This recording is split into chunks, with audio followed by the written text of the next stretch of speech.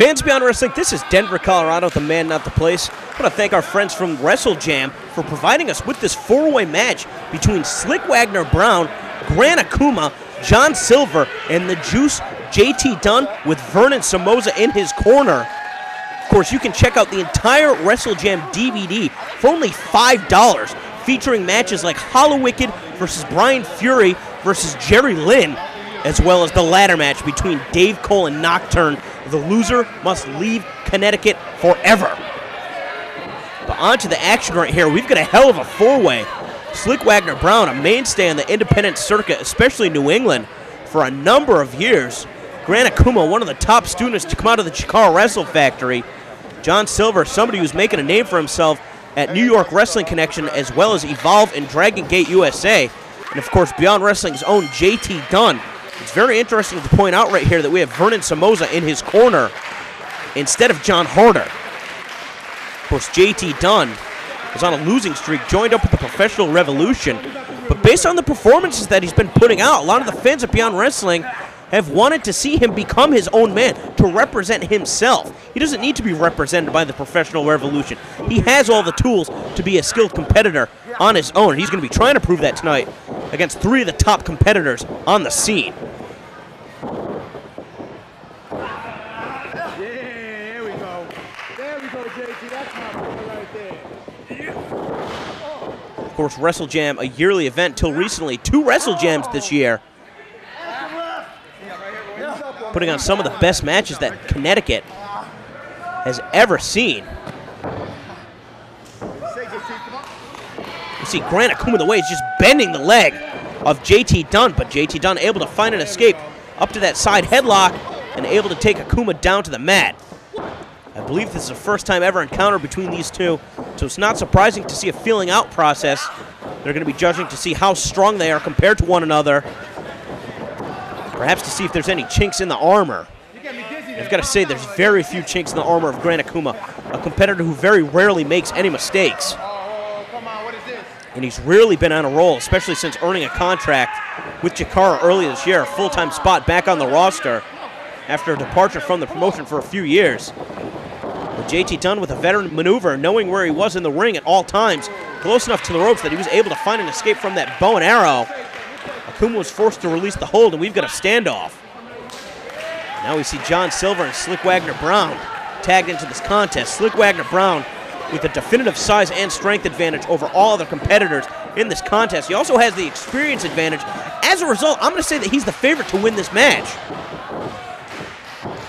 But you can never underestimate heart youthful exuberance, and that is what John Silver embodies here in this matchup. He's not going to be rolling over for anybody.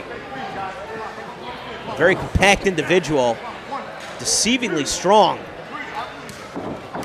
One hell of a striker, too. There you see Slyck Wagner Brown shoving him away. John Silver trying not to get frustrated. Still going to be looking to show up the veteran as they tie up once again. Silver able to power Slyck Wagner Brown down to one knee for just a moment. As these two are still jockeying for position, Slyck Wagner Brown able to push his opponent back first into the corner. And instead of getting a clean break, Silver's unloading with a series of forearms. Now coming off the ropes, it's the waiting arms of Slyck Wagner Brown who just slams him down to the mat. But John Silver able to get out of the way of that leg drop. And the elevation on that hang time drop kick. Both feet finding the mark on Slyck Wagner Brown. Brown having to retreat to the corner. And Silver looking for that monkey flip. But Brown just too strong. Now Silver going for that flying crossbody. He got it.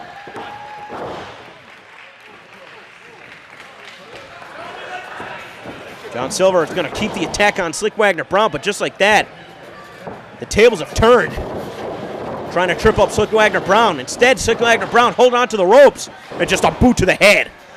Silver came crashing down hard when he missed that drop kick. And the veteran back in control. Able to get the boot up. JT Dunn tagging himself in and coming in with that lung blower. Now going for the pin. Once again, only a two count. Again, we've seen a lot of promise out of JT Dunn. The way that he's developed in Beyond Wrestling over the last year has been nothing short of incredible. Most recently competing in Everett, Massachusetts for the Chikara Young Lions Cup. Of course, that cup was won by Mr. Touchdown in the finals against ACH. But JT Dunn putting up an impressive showing nevertheless. Such a huge opportunity for a competitor with his level of experience. Of course, JT Dunn has gone to great lengths to improve his physique too, his conditioning. This kid's always in the gym. He's proud to tell people about it too. But right here, he might be outmatched by John Silver just wailing on him. Silver's gone berserk. And now JT Dunn with rapid fire shots to the back of the head, forcing Silver to cover up. Dunn able to roll him on his back. Now he's trying to go for that arm bar. But John Silver, the perfect counter. Not, not only is he able to keep his shoulder off the mat, we see the official checking right there, but he's able to block. And as JT Dunn was trying to attack the midsection, he got caught with a kick from Silver. Silver connected with that European uppercut. Very fierce competitor. Perhaps the most intense competitor in this contest, but maybe not the best striker because Gran Akuma came in and with one kick shut John Silver down. Now he's trying to tie up those legs. And take a look at the positioning of Gran Akuma's right foot. The position of that alone is going to make it very difficult for John Silver to escape this hold with his legs tied up. He's going to have to free that foot from underneath Gran Akuma's if he wants to escape.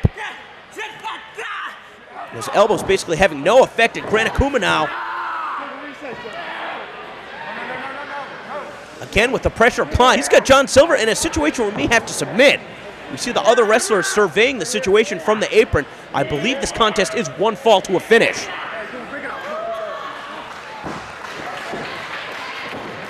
I'm surprised the other wrestlers didn't interject themselves sooner. Slyck Wagner Brown tagging himself in. Just putting the boost to John Silver.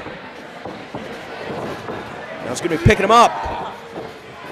And just driving him on the knee. That pendulum style backbreaker. Now just pushing away, bending Silver's body over his own knee. And JT Dunn coming in with a shot to the back of the head. Slyck Wagner Brown shooting the daggers at him, but you can't blame him. I mean, JT Dunn doing what he can to keep this contest alive. On one hand, yeah, you want Slyck Wagner Brown to wear down John Silver. It's going to make it easy pickings when he finds himself back into this contest. But if Brown defeats him, that's going to be it.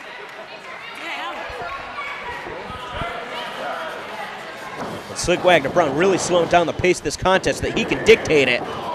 But John Silver able to move out of the way. Caught him with a kick to the face. Sent a JT Dunn in. And just driving him, snapmaring him in that bottom turnbuckle.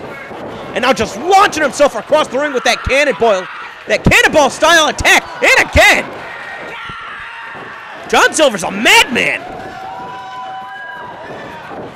Now Silver, both opponents hooked up. Able to hit that double stunner. Going for the pin on JT Dunn. But Akuma's there to break it up before the three count. Akuma's smart waiting on the outside, letting all three of these guys beat the hell out of each other. He's got the counter for Silver. How quick was that shot to the midsection? But just like that, Silver able to count out that power bomb with an arm drag, but he gets set into the ropes and dumped right on his head with that release German suplex. Incredible impact on that hold. And now Akuma's got Silver up again.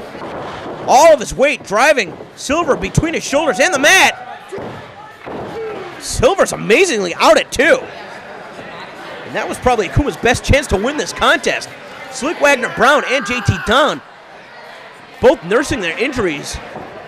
You see Slyck Wagner in the corner of the ring. JT Dunn, I believe, is out on the floor. Akuma going for that power bomb once again, now transitioning into that gory special, trying to hook up the legs. Has that submission hold. It's not very often that it's smart to utilize a submission hold in a four-way, but that was a great one to use because he would have been able to mobilize himself around the ring to see where all of his opponents were at all times. But nevertheless, Silver is just an unstoppable force of hatred and destruction. Look at that flipping cutter. What's going to put away John Silver in this contest? And JT Dunn finally back in the ring. A stomp to the head, able to break up the pin, but is any gonna, anybody going to be able to stop Silver in this match? What a great showing from this young athlete. Here we see Silver. A couple shots to the head.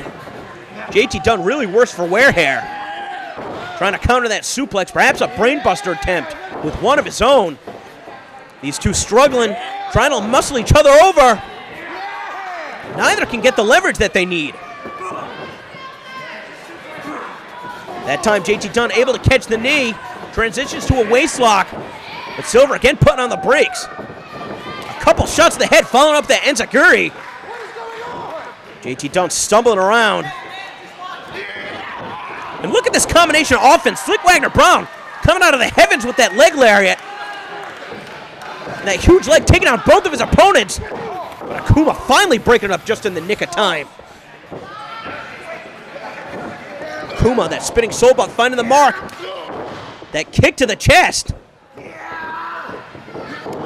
Slyck Wagner Brown able to kick away the arm. Got Akuma hooked up for that half and half suplex, just dumped him on his skull. Slyck Wagner Brown, he's gonna go to the top. You're going to be kidding me.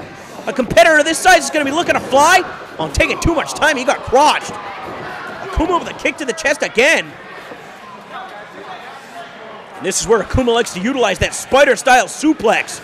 He's gonna be looking for a spider T-bone. But instead, Slyck Wagner Brown pushing him down. Akuma's still caught up on the ropes. But JT Dunn and John Silver with a series of shots to both of their opponents. Akuma, there you see, position himself on the apron. Slyck Wagner Brown falling out to the floor. And it's up to the two young guns to pick up the pace of this contest.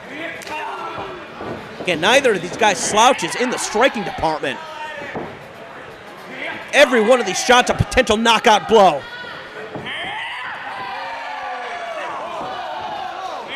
You know, I got to tell you, representing Beyond Wrestling, I'm really pulling for JT Dunn in this one, despite his affiliation with the Professional Revolution. But I don't think anybody's going to be able to overcome John Silver. How many shots was that? He, he must have hit a dozen shots in two seconds, but ran into the big boot of JT Dunn. Now JT Dunn looking for that Dave Cole bomb. Oh, picture perfect. But as he goes into the pin, Akuma's right in there. Now Akuma holding Silver in position. Silver realizing where he is right now. But Silver going to dive on the outside. Taking down Vernon Somoza. I think Slyck Wagner Brown was out of the way. I don't think he got the brunt of that. And now it's up to JT Dunn to try and knock off Gran Akuma. That will be no easy feat. But Dunn turned his attention to the outside. Again, diving on Slyck Wagner Brown. And the number one, John Silver. Well, Akuma's looking to fly. JT Dunn better get back in the ring quick or else he's going to be a target. Dunn, I'm not even sure if he knows where he is right now. Akuma getting the momentum off the ropes. He got caught with a kick to the side of the head. JT Dunn might have a beat. Going for that flying head scissors, but it's countered. Oh! And Gran Akuma planting the knees. He must have knocked the wind out of him. One, two, three. And Gran Akuma beating JT Dunn, Slyck Wagner Brown, and John Silver. But a great outing out of all four of these athletes. And again, if you want to see the full Wrestle Jam DVD, it is available for only $5. Again, the link here in the description of this video. We want to thank our friends at Wrestle Jam for giving us this match here for youtube.com slash Beyond Wrestling. And please make sure to subscribe for free weekly matches.